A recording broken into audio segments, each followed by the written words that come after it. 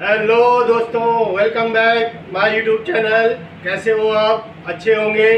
और दोस्तों, आज मैं आपके लिए लेके आया हूँ एक नई रेसिपी आज हम बनाने वाले हैं इटालियन टमाटो सॉस तो दोस्तों, तैयार है? ये हमारे टमाटर है और इसमें हम डालने वाले हैं लीक सेली कैरोट ऑनियन और दोस्तों, हम जब इटालियन टमाटो प्लाती बनाते हैं तो हम यूज़ करते हैं ये इटालियन फ़ील्ड टमाटो और इसके साथ हम डालने वाले हैं टमाटो प्यूरी टमाटो पेस्ट बहुत सारे आइटम्स हम इसमें डालने वाले हैं और हम बनाने वाले हैं इटालियन टमाटो सॉस तो दोस्तों, तैयार है? तो दोस्तों, सबसे पहले हम अच्छे से टमाटर ले लेते हैं और इसको वाश कर लेते हैं अच्छी तरह से। फिर इसको हम इस तरह से काट देते हैं। फिर इसके बाद हम इसको पीसने वाले हैं टमाटर को मिक्सी में। तो दोस्तों हम इस तरह से टमाटर तो इस तरह से हम तो दोस्तों, हमने इस तरह से ये टमाटो सॉस पीस चुके हैं इस तरह से, और अब हम पीसने वाले हैं ये टमाटो पिलाती। तो दोस्तों, इस प्रकार से हमने ये टमाटो पिलाती पील्ड टमाटर हमने पीस चुके हैं। तो दोस्तों, बने रहिए वीडियो के साथ। वीडियो बहुत अच्छी होने वाली है। अब हम आगे आपको बताने वाले हैं, हम आगे और किस तरह से अच्छी से अच्छी टमाटो सॉस बनाने वाले हैं? देखो, इसके लिए हम करने वाले हैं अब चॉप ली कैंसिल ली कैरोट, ऑनियन और गार्लिक। तो दोस्तों, इस प्रकार से हमारा ये लीक, सेली, ऑनियन, गार्लिक, कैरोट चॉप हो चुका है। इस तरह से हम इसको चॉप कर देते हैं और अब हम बनाने वाले हैं टमाटो सॉस। तो दोस्तों, हमारी ये सब एक इक्वल क्वांटिटी होनी चाहिए। जैसे हमने 200 ग्राम लीक्स काटा तो 200 gram celery 200 gram carrot 200 gram onion 200 gram garlic इस तरह से हम जितना भी सॉस बना रहे हैं, उसकी एक रेशो होनी चाहिए। चाहे 100 ग्राम बना रहे हैं तो 100 ग्राम के हिसाब से होनी चाहिए। 200 ग्राम बना रहे हैं 200 ग्राम। ऐसे मतलब इक्वल क्वांटिटी इसकी जो हम इसमें डाल रहे हैं, वो इक्वल क्वांटिटी होनी चाहिए प्रत्येक चीज़ की। तो दोस्तों, अब हम डालने वाले हैं इसमें इस तरह से ऑली ऑयल ये हमारा ऑली ऑयल इसमें डाल चुका है। ये हम इसमें डाल चुका है हमारा गार्लिक और दोस्तों, हम गार्लिक को थोड़ा अच्छी तरह से भून लेते हैं। इसका थोड़ा हल्का सा ब्राउन कलर आना चाहिए।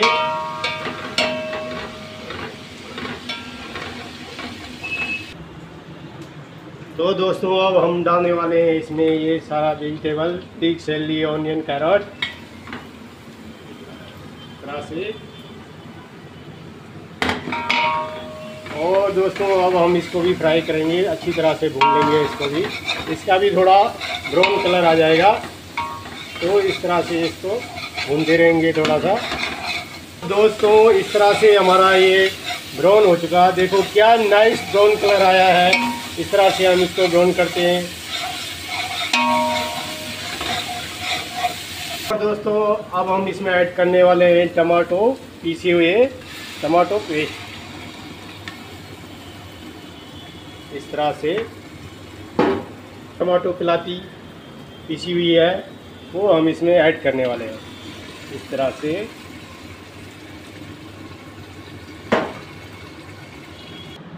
और दोस्तों, अब हम इसमें डालने वाले हैं टमाटो प्यूरी। इस प्रकार से हम इसमें टमाटो प्यूरी ऐड कर देते हैं।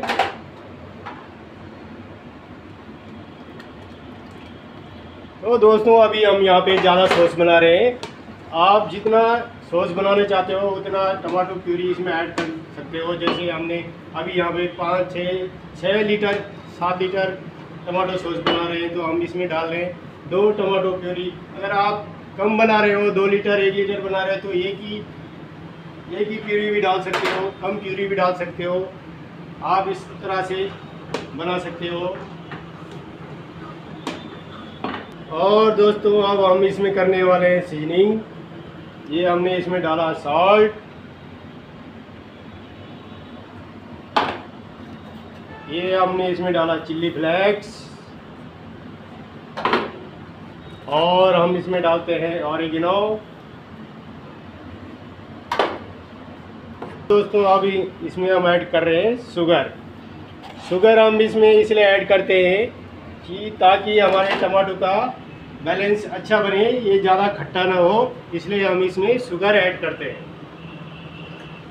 और दोस्तों, अब हम इसमें ऐड करने वाले हैं टमाटो पेस्ट तो टमाटो पेस्ट हम इस तरह से ऐड करते हैं। इसमें हम डालेंगे थोड़ा सा ऑलिव ऑयल।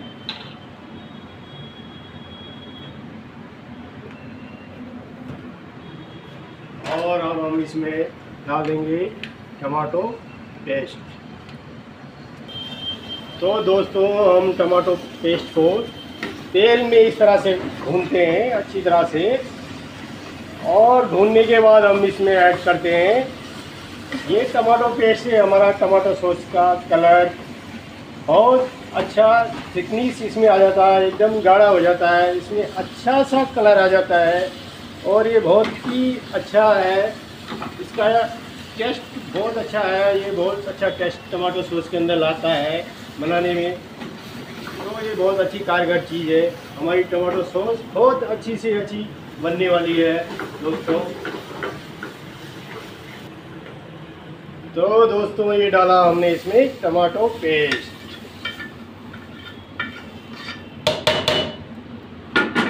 और इस तरह से हमारी ये टमाटो सॉस पक रही है। और दोस्तों, अब हम इस टमाटो सॉस को एक घंटे तक धीमी आँच में पकाते रहेंगे।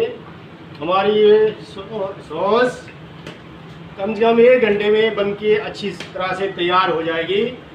और ये है हमारी इटालियन टमाटो सॉस जो कि हम पिज़्ज़ा पास्ता में यूज़ करते हैं। ये हमारी पास्ता सॉस पिज़्ज़ा सॉस बन के एकदम रेडी हो चुकी है। तो इस तरह से हम बनाते हैं टमाटो सॉस आप लोग भी इस तरह से टमाटो सॉस बना सकते हो। अच्छी अच्छी किस्म से बना सकते हो। आपको हमारी ये रेसिपी कैसी लगी? तो दोस्तों आगे शेयर लाइक कमेंटमेंट सब्सक्राइब करते रहिए और फिर हम मिलते रहेंगे नई नई वीडियो में नई नई रेसिपी के साथ। आपके लिए नई नई रेसिपी लाते रहेंगे नई नई सॉस बना के आपको दिखाते रहेंगे। तो दोस्तों, अब हम बनाने वाले हैं पास्ता। हमारा पिज़्ज़ा मार्केटा जो गेस्ट के लिए एकदम रेडी है। और दोस्तों, अब हम बनाने वाले हैं रेड सॉस पास्ता, जो कि इस प्रकार से है।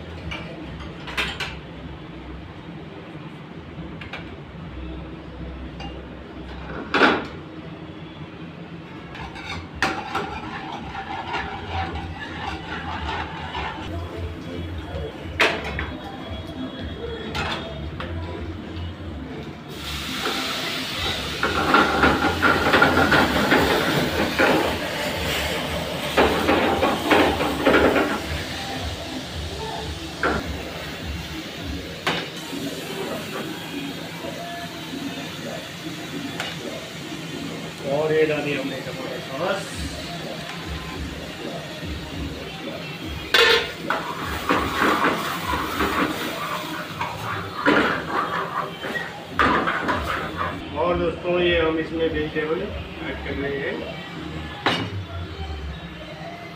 तरह से ये हमारी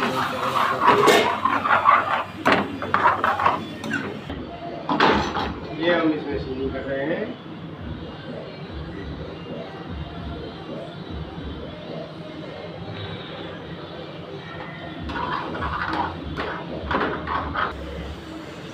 और ये डाला हमने इसमें पास्ता।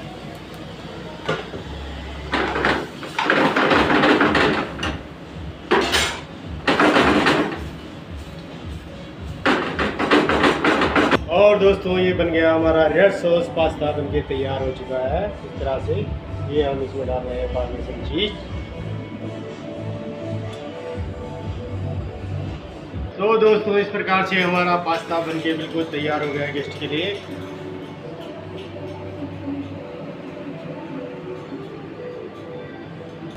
तो दोस्तों, मिलते हैं फिर नेक्स्ट वीडियो में नई रेसिपी के साथ। तब तक के लिए bye bye Thank you very much.